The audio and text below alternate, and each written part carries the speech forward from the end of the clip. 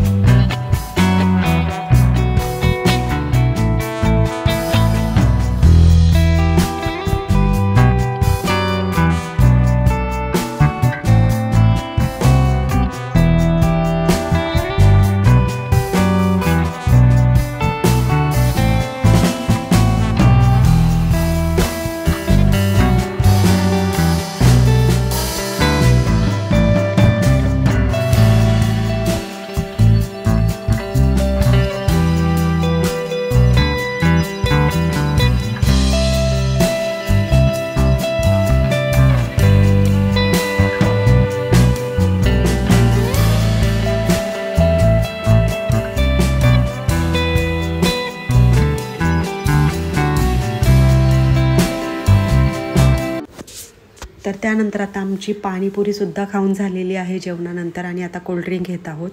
अशा प्रकारे मस्त अशी पार्टी झालेली आहे आमची. तर ही पार्टी तुम्हाला कशी वाटली ते कमेंट करून नक्की सांगा. व्हिडिओ आवडत असतील तर लाईक कमेंट शेअर नक्की करा. भेटूया आपण नेक्स्ट व्हिडिओमध्ये